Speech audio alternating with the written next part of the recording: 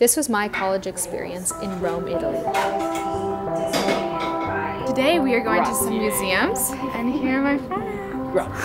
And here's my friend. This is Marcus Aurelius, former emperor of Rome. We'd spend a lot of our time going to different museums and seeing churches. There's just so much to do in Rome. My friends would always tell me cool facts because they were so knowledgeable.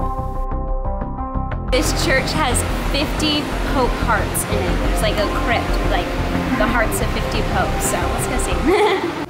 And this was just the beginning.